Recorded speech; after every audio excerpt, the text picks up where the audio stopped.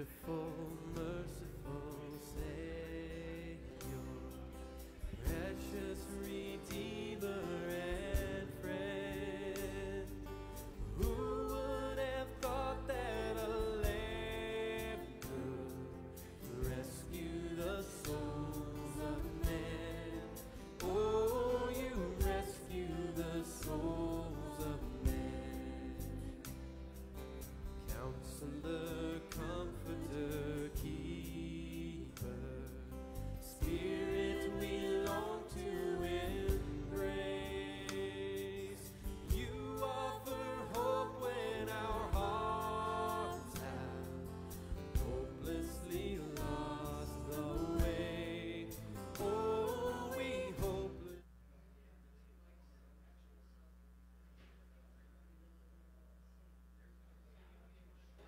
Good morning, everybody.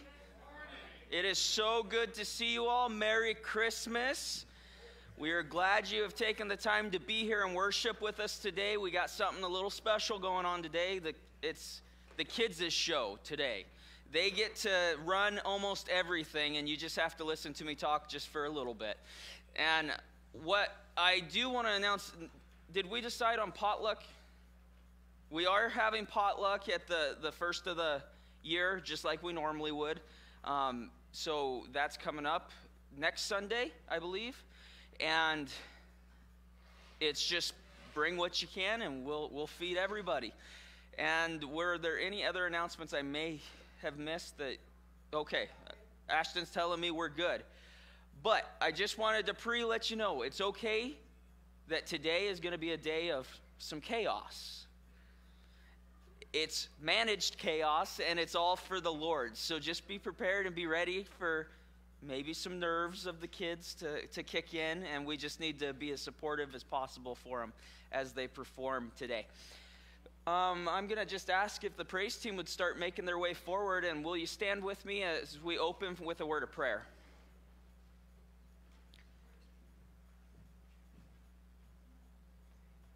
Dear Heavenly Father, we thank you so much for the opportunity to, to be here together as your body to worship you.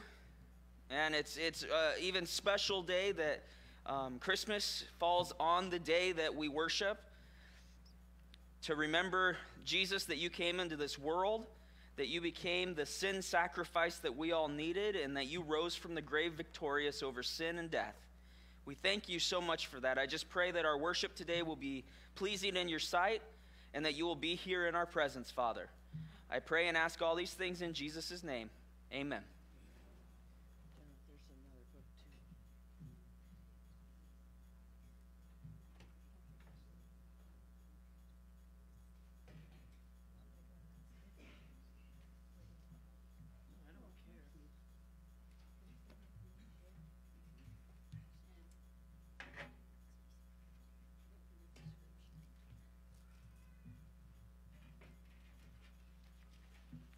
Okay, would you um, quote Micah five two along with me?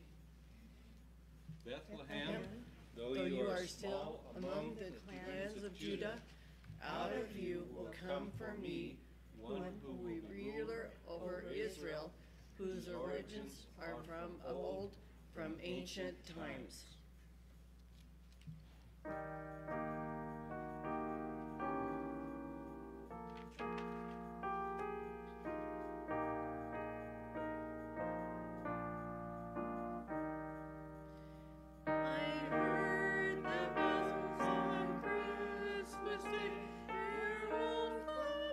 Familiar carols play, and wild and sweet the words repeat of peace on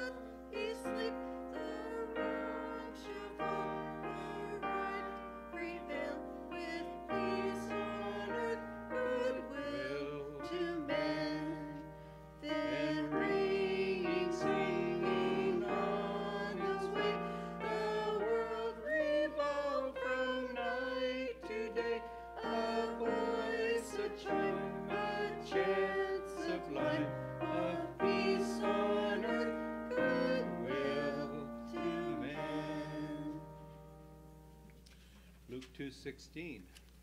And they came with haste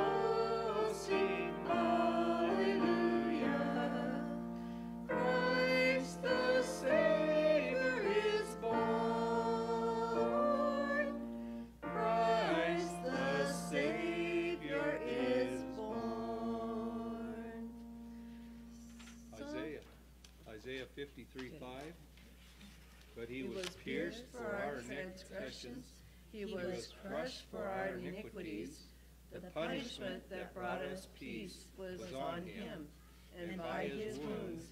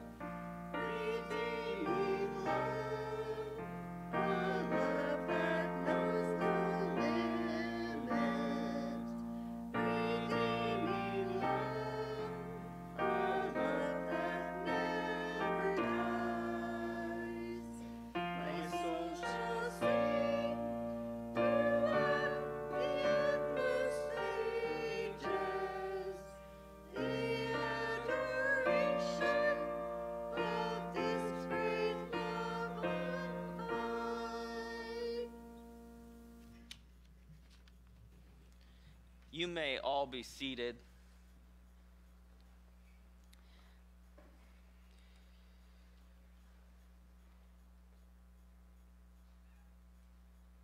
Now, the Apostle Paul, he once declared in 1 Corinthians 15 50 through 56 Now I say this, brethren, that flesh and blood cannot inherit the kingdom of God, nor does the perishable inherit the imperishable.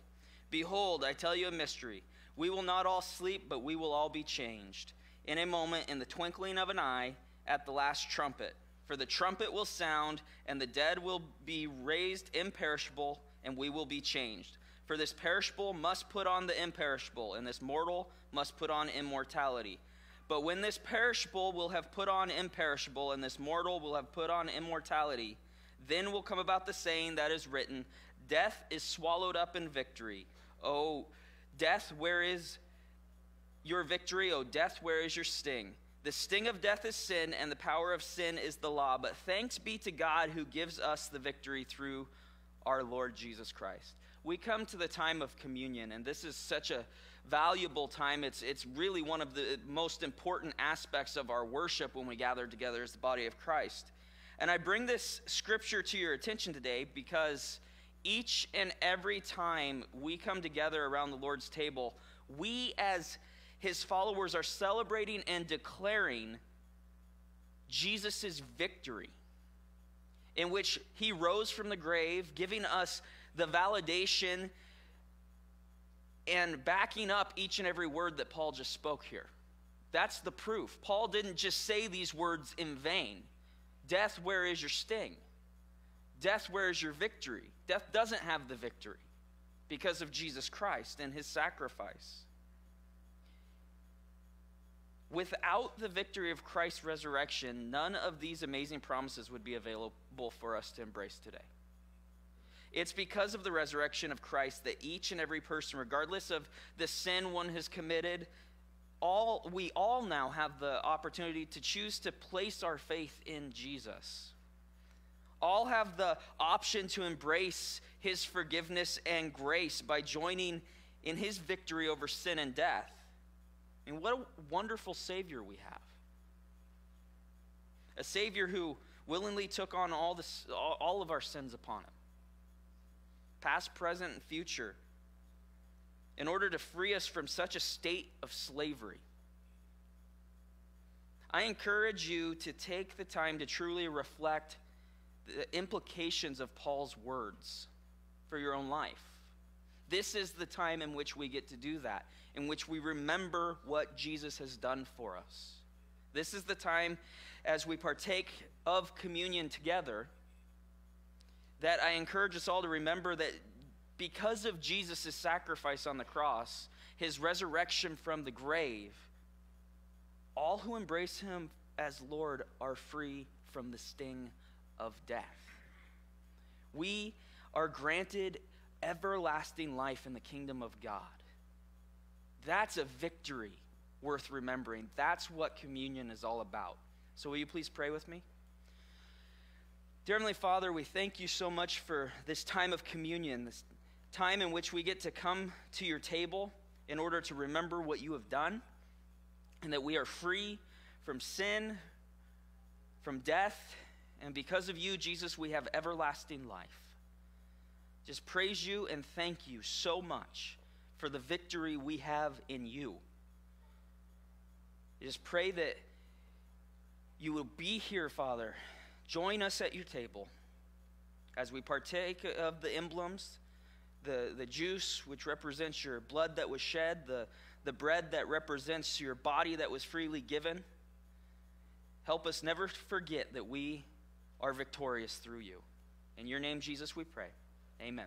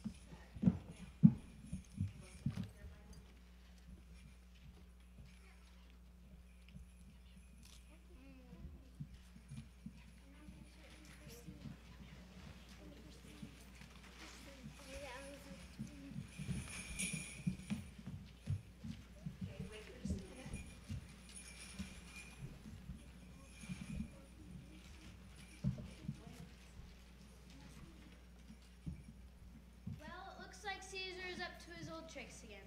I have to admit, he is creative about collecting money. This time he wants everyone to come to their hometown to pay their taxes. Before you know it, Bethlehem will be filled with tourists and their animals. Rush hour will be twice as long, and pizza delivery will take forever. Clyde said, Did you hear that? It's tourist season all over again. Do you know what that means? Leftovers. These are for you to say that last year everyone wanted milkshakes. I lost 20 pounds and wanted meat. What if this year they want hamburgers? Excuse me, you think you have problems? Everybody knows Spain, Bethlehem's famous for its sweaters. And where do those sweaters come from? Look, I only one cheap and this stuff only goes so fast. Well, I like tourists. They're messy and they drop food all over the place. They're everything a mouse loves. I'd better hurry. Those tourists will be coming any time now. This food all over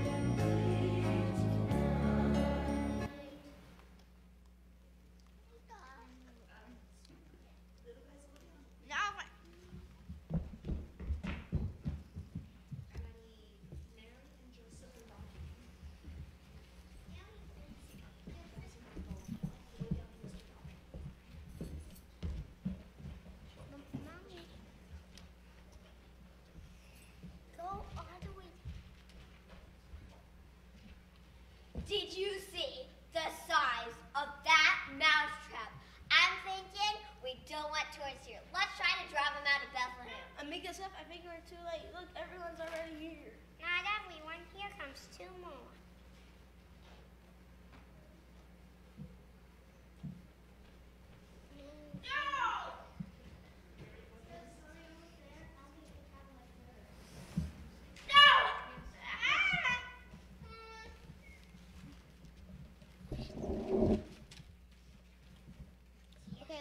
Let's try to find a stay for the night. No. I don't have no, no, no. So you're here and you want to go over there. Way, way, way over there. No, We're here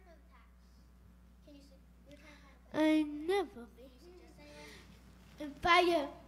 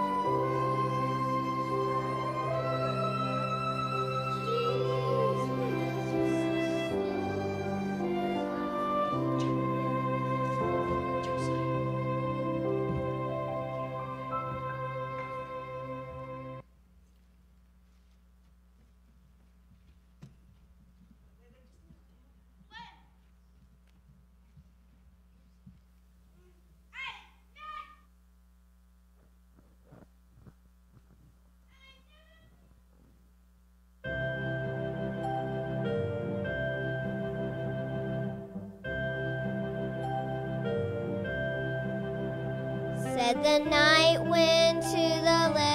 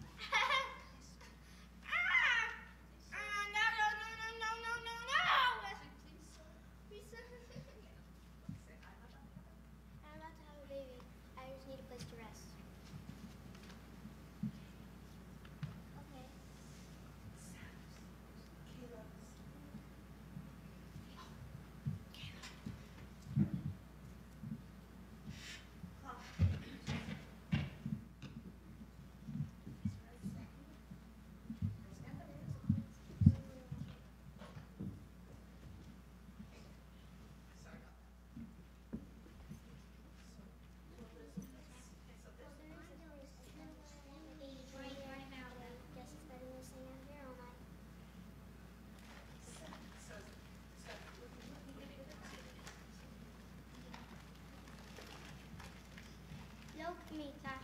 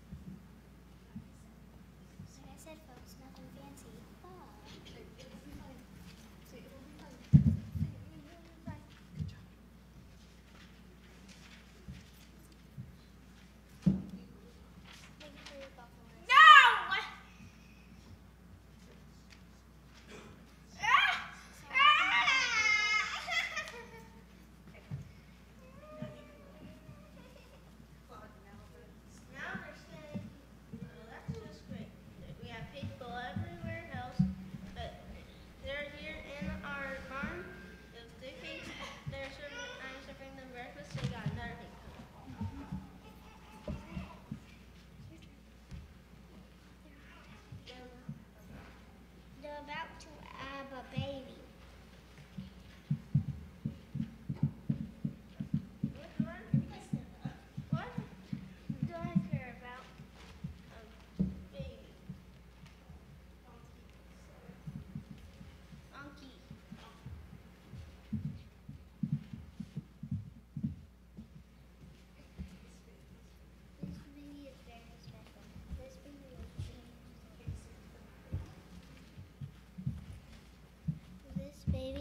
Is very special. This baby will change the world and let people have peace with God. This baby will die and for the wrongs of the world and then rise again. There has never been a baby like this one. I think I remember hearing about this baby, the Messiah. God's own son. Is the baby the Messiah? Yes, and God has waited a very long time for this night.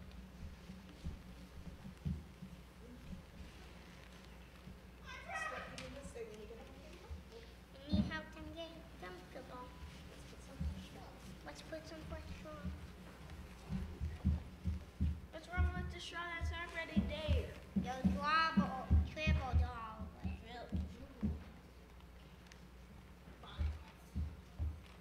Fine. You help it if you want to. What do I care about some special baby? Clyde, aren't you excited about the baby? See, you gotta go. Yeah. The truth is, a lot of people understood how God felt. They didn't care about God's son. In fact, they believed that God had forgotten all about them. They didn't expect God to change history that night. They just brushed their teeth and went to bed, not knowing that every town that in that very town on that very night, a miracle was found. Except for Mary, you can sit right there.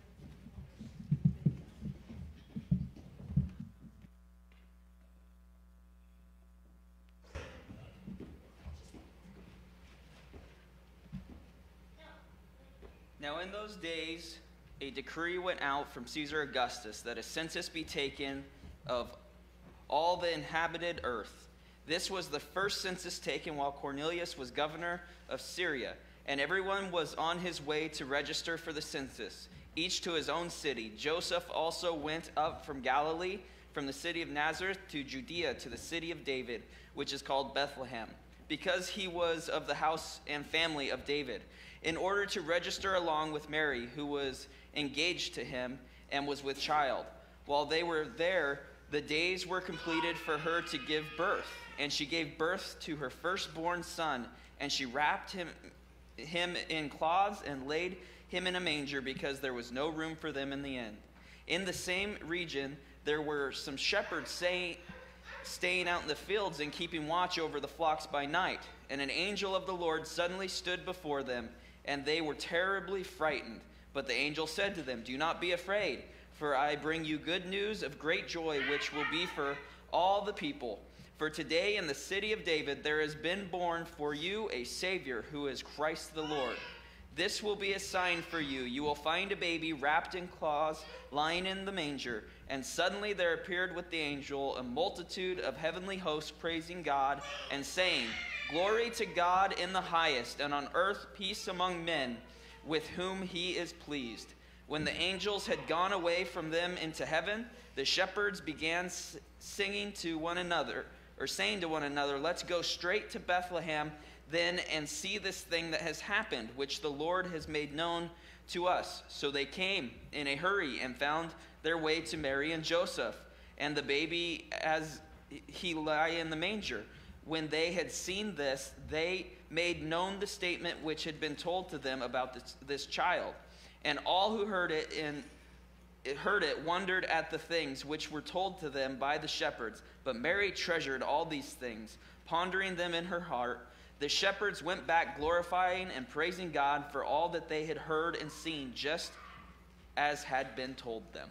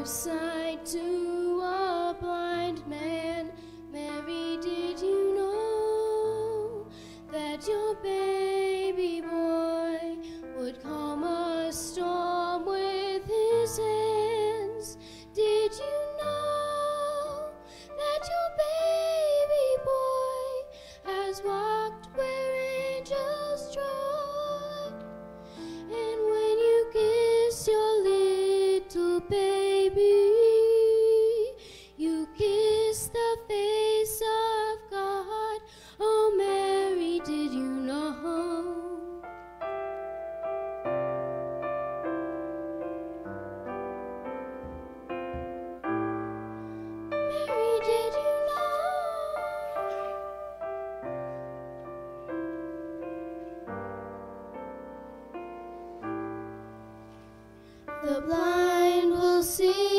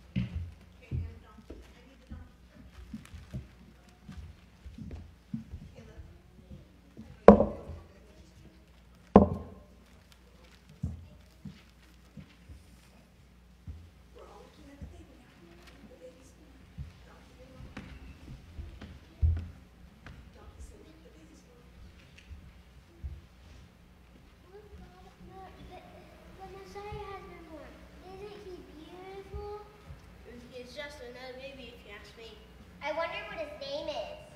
His name is Jesus. That means God is with us. He has a very special job to do. He's going to save us from our sins. But right now, I think he just needs some rest. I wonder if Mary and Joseph would mind if I hold him. Imagine looking into the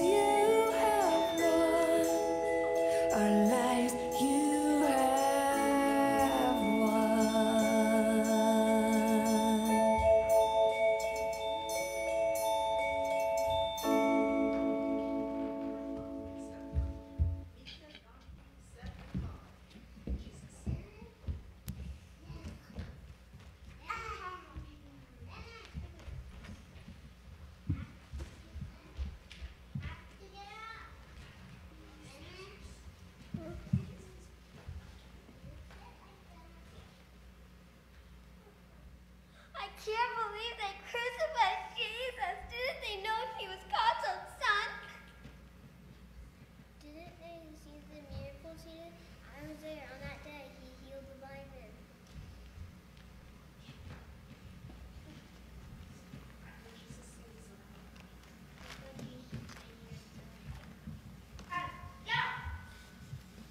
You guys believe what I want to, but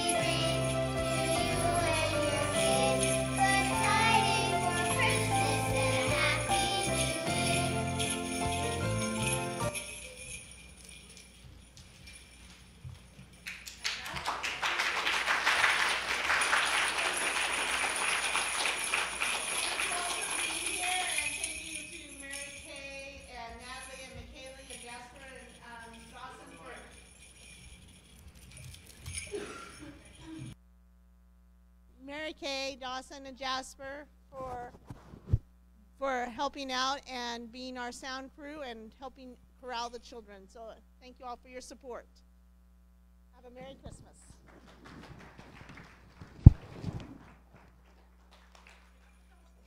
Now, before we get into prayers and praises, um, I have something that I want to point out.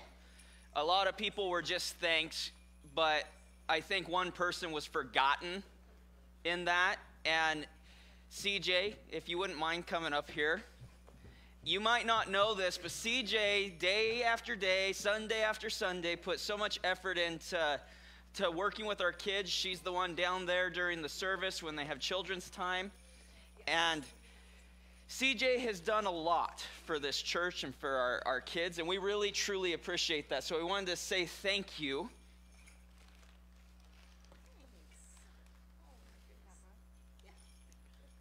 Well, well before, before you go, we had a chili cook off not too long ago, and we never got to give the winner her gift. So CJ was the winner also, and she gets this golden spoon pin. And you are to be the caretaker of that until next year, unless you can keep the crown. Yep, we're going to pass. This is the trophy that's going to get passed around to whoever wins the next time we do the chili cook off. But you get to be in charge of it for a year. Also, um, Ashton is the one that did our background, so I was thankful for that. yes. And I just want to say thank you, kids. You guys did such a great job. I am so impressed. And if you can't walk away today not knowing that Jesus died for your sins, then you weren't listening. Because that's the truth. So, were there any prayers or prayer concern or praises back there? Nope. Does anybody have anything pressing on their mind that uh, you need me to pray about right now?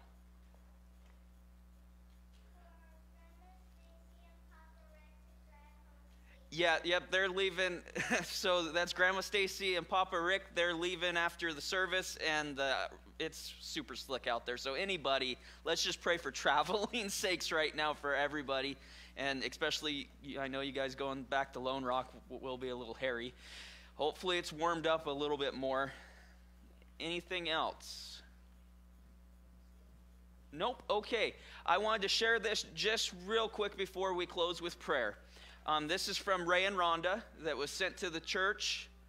And it says, Heppner Christian Church, wishing you a Merry Christmas and a Happy New Year. We miss you all and look forward to when we can worship with you in person again. That's from Ray and Rhonda. They just wanted to say Merry Christmas and they look forward to being able to be back here. As we know, Ray's um, doing ministry in Willamina right now, so and they made it there safely, I was told. It took about seven hours, but they did make it. I was a little worried for them on going that direction. All right, let's close with a word of prayer. Dear Heavenly Father, we just thank you so much. We thank you for our, our children that are so willing and brave to, to stand up and just shout out your message to the world. Father, we thank you for that. There's a lot that can be learned when we listen to our kids and and we can learn a lot from their innocence. And we just praise you, God, for reminding of us of that today. But most importantly, we praise you so much for reminding us the truth of what Christmas is about. The fact that Jesus, you came to this earth.